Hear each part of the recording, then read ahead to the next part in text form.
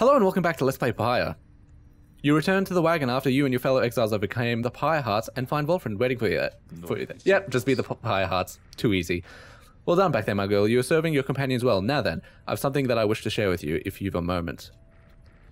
We've discussed the plan. A current probability of success 27%. Don't know if that's risen or fallen. Of which we are all a part. I have means of measuring our progress towards the goal of it. I'd like for you to look at it first. First, let's determine where the rites may take us next. I, I read first twice. Look forth, I expect you shall again see several shining stars, where once you saw but one. Yep, so this is none none of the other triumvirates have this ability to choose their their foes, which is important because there's technically a ladder, a sports ladder in game at who's on top and who's on bottom. So you can use this opportunity, I suspect, several shining stars, a trick of the eye, or the will of the scribes. Who can say? I too once gained this newfound vision many years ago, following my first liberation rite, and I believe only we of the Nightwings have this gift. I realize that in choosing whom the Nightwings confront in each rite, we in turn influence which triumvirate we face when it when the time comes for someone to be set free. You can read my mind, Wolfried. I was going to say exactly that. The object I invite you to use contains further detail. Uh, you may use Wolfried's planner, the object that shows relative standings between the nine triumvirates in the rite. Whichever triumvirate carries the most favor shall confront the Nightwings for a chance at freedom to see your current progress.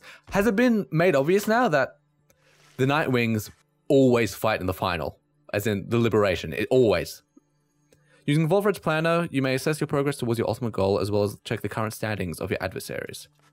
Wolfried shall keep this information up to date for the remainder of your quest. You may look over it now or any time in the Black Wagon or while searching the stars. Mm-hmm, indeed. So, for example, uh, favor triumvirates. Uh, triumvirate always, always. What's the word? The Nightwings always face in the Liberation Rite. Always. We are the benchmark against which every other triumvirate is compared to. I think was that in the Book of Rites that we've read it yet. So you can use this really. Um, for example, I don't want to fight Udmild at all. I don't want to fight any of the Curs or yeah, th those are basically the people who I don't want to fight in the final. Um, hold on. If we more favor is gained and lost against the Nightwings than any other triumvirate.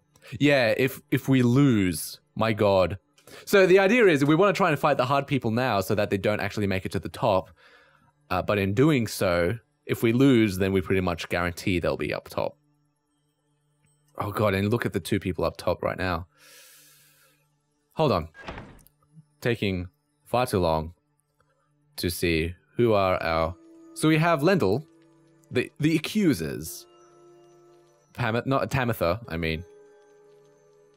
And not Jamur. What's his name again? Dalbert. Dalbert would seem like a good person to try and fight against. Because I don't I don't want to face him off at all near the uh during the Lendl will be so easy though, is the thing, and I can get easy experience that way. Let's yeah, let's do Jamua. I mean not Jamua, but Dalbert Oldheart. Just to try and knock him down a peg so he's not I don't face him uh, in the liberation rite. So we're going to the fate again, adversaries or no. I hope Dalbert and Almo have been holding up. Seems they've both been through quite a lot. He then shares with you what details he attained of your next adversaries. Dalbert Oldheart, an adversary who showed you respect and even generosity. Despite his advanced age, he's also made for a formidable opponent, he and his son. Remember how quick they were? The so-called Alma, Alma the Helpless, ever present at, at his father's aid, he was abandoned as an infant before Dalbert found him and raised him as his own. Dalbert thought, taught his son everything he knew of his cultural heritage as a descendant of one of the Alpha Chiefs throughout th- thought to be descended from Jamua Many himself. My god, can't read. However, his more vocal attempts to preserve old Cur traditions in the Commonwealth often fell on deaf ears or even roused the anger of the officials. One day, he insisted on celebrating Fang Song, an old Cur holiday in which a single pack of Curs vanquished an entire Imperial brigade. And Jamua's jaws and Jamua's many manes ran red that day. The Song of the Chief. Jesus! Against the wishes of his family. His family's caution was well founded in this case, and he was taken into custody. As for Alma, as his father was led away, he put up enough of a fight to where he wound up sharing his father's cell and soon enough his sentence. In the downside, their faith brought them in contact with a pack of spiritual curs residing in Jamua Valley. In time, they became acquainted with the rites and helped to revitalize the long struggling triumvirate known as the Fate. They have since struggled on at times, flirting with freedom, though seldom getting within striking distance. Yet, still, they long to find a way to return to their ancestral home and family. Poor Dalbert seems like a decent enough sort, same for his son. In any case, we'll see them soon enough. Let's get some rest for now. Yeah, Dalbert. You bid Hedwyn a good evening. It's too late to take flight, so you make plans to rise at dawn to continue your travels. You know, facing off against Dalbert in the Liberation Rite is actually quite tense because you get more of their story in the background. Oh, that's Volfred's planner. Nice. Um, Volfred's status is reading a book. Sir Gilman is nearby. Pamitha is sleeping off. Oh, never mind. Wasting time. Sir Gilman is in a contemplative mood. He has been rather quiet, at least more than usual, ever since his confrontation with Sir Deluge. He notices you there and slides forth in a solemn manner. This knight, he knows what he shall do now when all of this is over, Master Reader. We worm knights, we are we all are born and raised to prove ourselves superior to all other billions of our kind. Billions. To lead our lives, however, short with glory. From the moment we shove past our wormlings brethren in the egg sacks to the very end, we are conditioned to excel, to prevail at all costs. This relentless pursuit of glory, of fame, of self-worth, it leads most of this knight's kind onto only only to an early doom, or in this case of Sir Deluge, it leads to a life of falsehood, a life of low deceit, and abusing one's fellow worm knights, shirking one's responsibilities, living in constant fear. This knight cannot abide his former commander, yet pities him. There must be more to honor than to lead a life engulfed in endless conflict. Then he looks at you intently. This knight shall ever seek the honor out when all of this is ended, Master Reader. Thus he vows to you, and he is ever grateful that your guidance led him to this new awakening. But until such time, this knight is duty bound unto the Nightwings, this the fulfillment of our plan, and our pursuit of freedom is to be this final quest. For what for what awaits him afterwards is no mere quest. The honor that this knight has sought, it cannot be fully achieved through knighthood, can it? It requires something more. I trust you understand. He slithers off, his head held high, though not merely in pride. Something has changed in him. Yo, dude, Great. Um, I was thinking of playing with him the next ride anyways. Or was that a bad idea? Thank you. Uh, because... Hold on. My, my, my brain is pulling a blank. Hold on, what was I? Well... Hold on, hold on. No, no, no. No, my brain is... It's pulled a blank. That's it. It's gone. Damn it. I had something important to say. It's, it's not. I'm not going to forget about it anytime soon. Oh, the next rite. Let. Oh, hello. How dare you, Nightwing scum!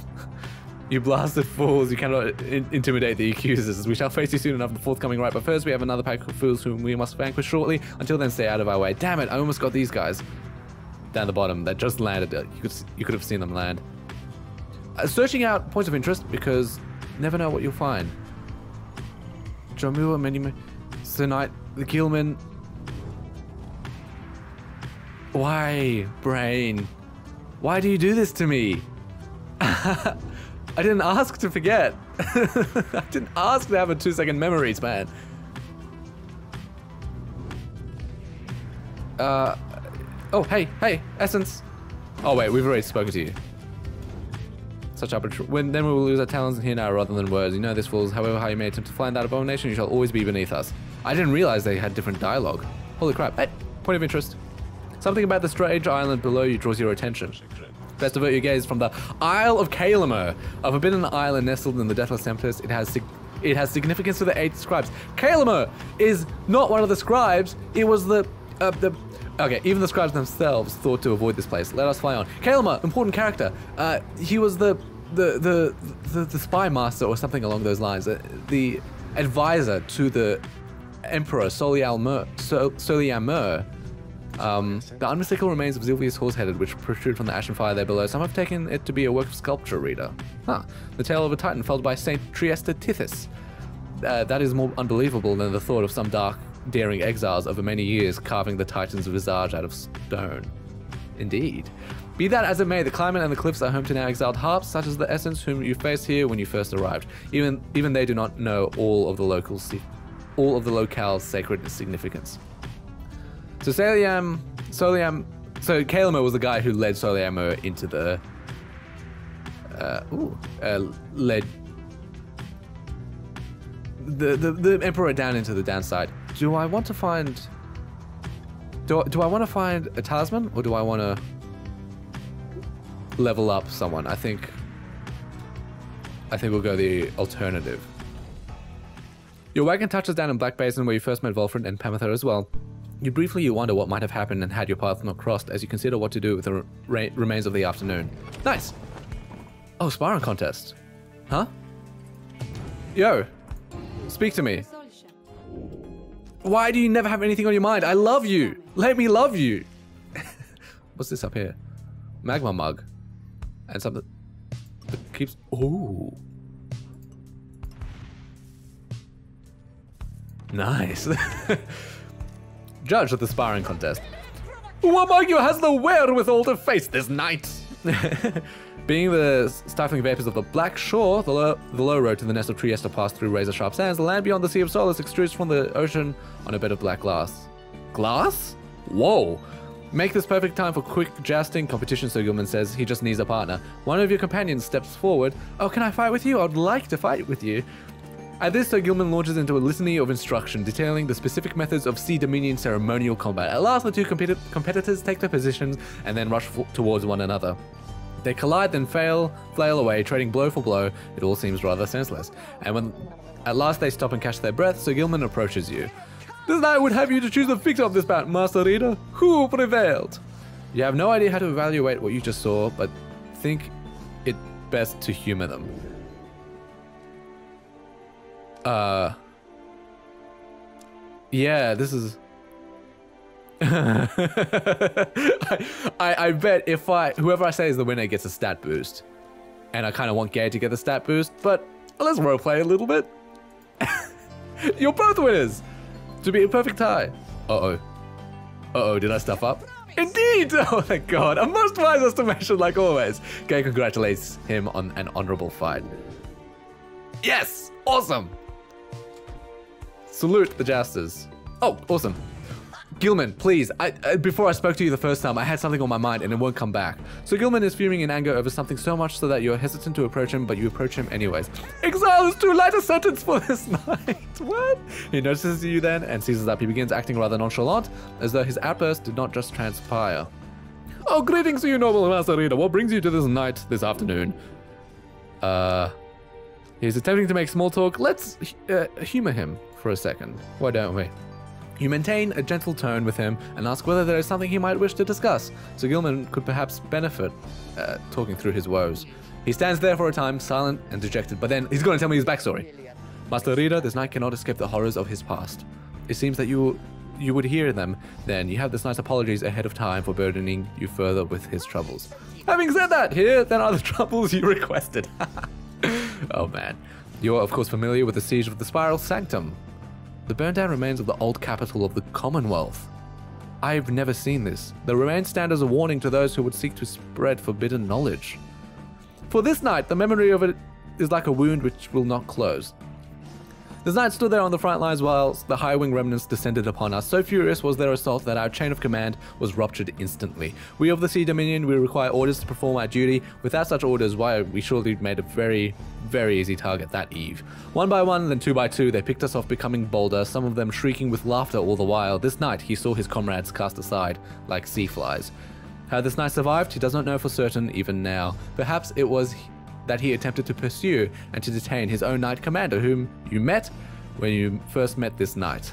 That cursed Sir Deluge. If not for his craven cowardice, the Spiral Sanctum, it might have held at least a while longer. Oh my god. But instead, we were routed, rendered spineless, both in form and deed. Sir Deluge was first to turn and flee as our chain of command crumbled. And as for this knight, he failed to catch his knight commander, he must have looked a coward too. Thus came the time for penance, and this knight, why he insisted only on the course of action reasonable, he insisted on the sentence to the downside. And as you can plainly see, his wish was then fulfilled. How absurd that he should re-encounter his old knight commander here soon after. Thus did this knight become obliged once more to Sir Deluge. We took to the waters in the Sea of Solace, where soon we met the Pie a triumvirate exclusive to our kind. It was plain to see that they lacked wherewithal, and so Deluge, they thought he could provide it, the leadership they sought, and his was too much of a coward to decline. Huh.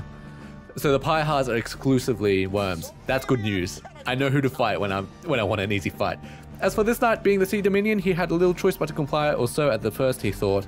When this knight, when he encountered you and the Nightwings, something awakened within him. With so little honor left to lose and so much left to gain, it became imminently clear that this knight stood a better chance within your ranks than those of Sir Deluge. And there is little left to say. This knight cannot escape his past, and yet he chooses to believe that he was spared that day, not merely by coincidence. Perhaps Under King Ori's yet has plans in store in which this knight may play a part. Man, this is so uplifting! This knight, he clings, however vainly, to that hope. Okay, maybe not so much. He slithers away, his head bowed low. It seems best to leave him for now. You sense he feels relieved at having shared all this.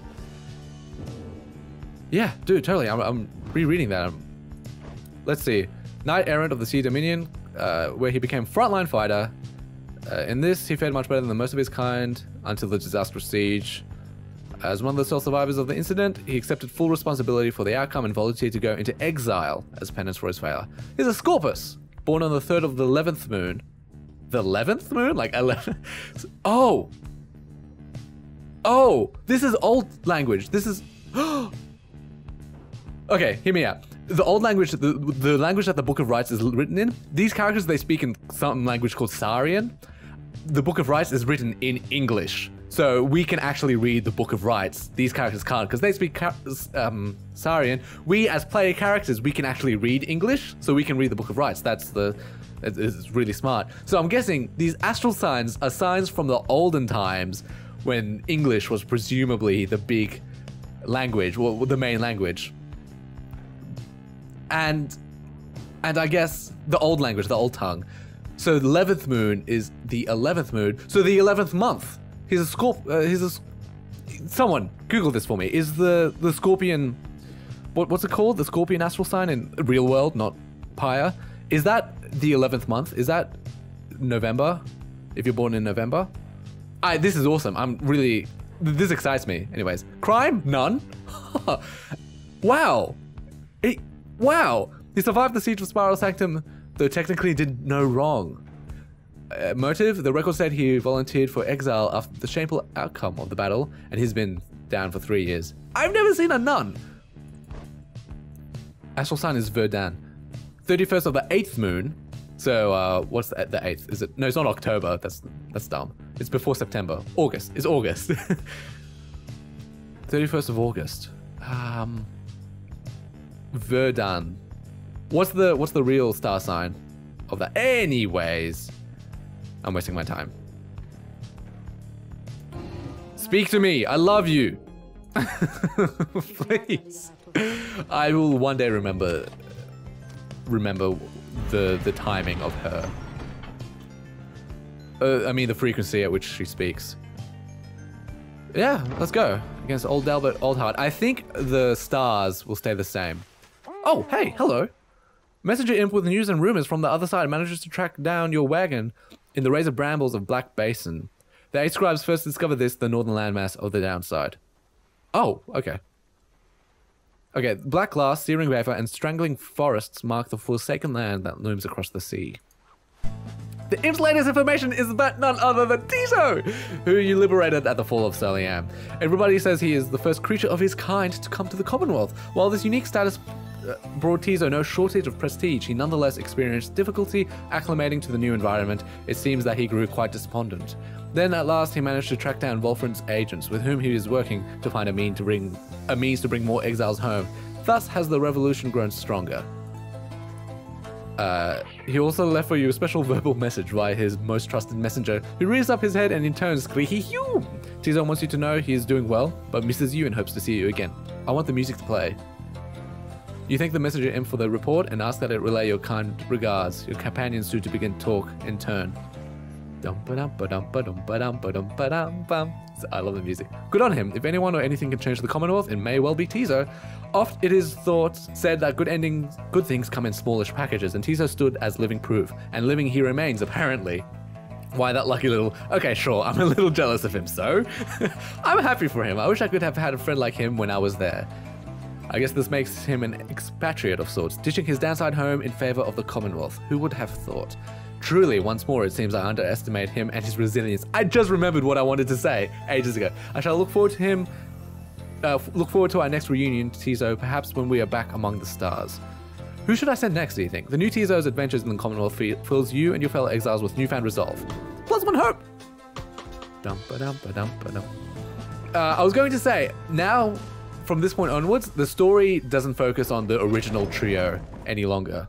So it doesn't really focus on Hedwyn, Rukey, or Jodariel so much anymore. So feel free to get rid of them if you want. Uh, of course, we're approaching the 20 minute mark, which means about to end the episode. Look, I'm gonna. Why? Why won't you speak to me? This hurts my feelings. Why won't you let me love you? Anything worthwhile getting from him? Hey guys, hey, I noticed your little impal. He ain't with you anymore. Is he okay? I heard the one thing that he somehow got out of here back to the other side, and I'm like, why would an imp want that? I'm trying to imitate him. I might actually buy some Stardust and upgrade. Upgrade the. First off, sell this for four gold. Okay. Um, these star serums are probably really powerful, but I would rather plus three raises them up to plus five, and this one raises them up to plus 20. Yeah.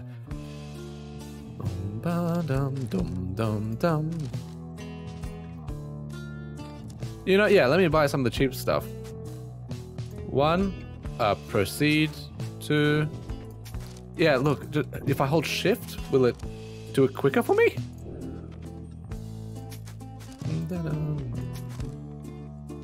Okay. Leave it at that. Thank you very much, Falcon Ron. You're my favorite customers I had all week. With a question mark. Let me just very quickly stop by here. Who had... It was gay. If I upgrade it... Whoa, hold on. I can't... I can't upgrade it. No. Anyways, that brings an end to this episode. I'll work this out in post. Thank you so much for watching. I do appreciate your viewership. Stay tuned. Going to be a lot more Pyre coming in the future, but until then, see you next time.